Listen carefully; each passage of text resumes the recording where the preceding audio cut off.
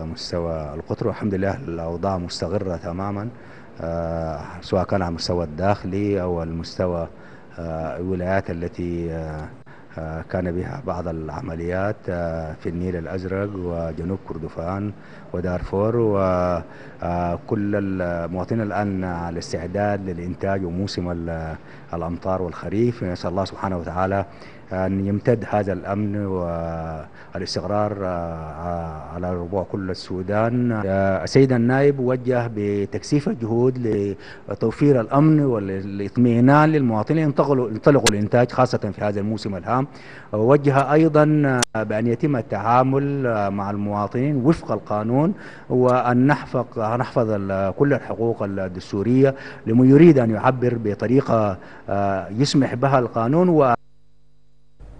هذا وقد أشاد وزير الداخلية المهندس إبراهيم محمود حامد بوعي المواطن السوداني ورفضه الاستجابة للمحاولات التي قام بها بعض ضعاف النفوس بهدف زعزعة الأمن والاستقرار مؤكدا أنه يعكس ثقة الشعب السوداني في قيادته وقدرته على تجاوز هذه المرحلة بحنكة واقتدار كما تجاوزت من قبل الأزمات السابقة.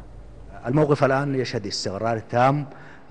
بعد أن رفض المواطنين رفض قاطع آه، مشهود على مستوى كل السودان وعلى مستوى كل أجهزة الإعلام رفضوا الاستجابة للذين يسعون لزعزعة الأمن والاستقرار ويتفهمون تماما بأن هنالك إجراءات اقتصادية كانت ضرورية آه، للاستقرار الاقتصادي ولبناء اقتصاد ينطلق إن شاء الله بالسودان للتنمية وللنماء كما كان في العشر سنوات الماضية. نحن إن شاء الله سوف نجتاز هذه المرحلة بعد الانفصال وحينطلق السودان من جديد والشعب السوداني خبر هذه الدولة وهذه القيادة من خلال سنوات أثبتت بأنها جادة في بناء آه، أمن واستقرار واقتصاد السودان وسوف تمضي إن شاء الله بهذه هذا البرنامج الثلاثي للاستقرار الاقتصادي وسوف لن يلتفت إن شاء الله الشعب السوداني آه، للأصوات النشاز التي آه، لا تريد استقرارا ولا أمنا للسودان.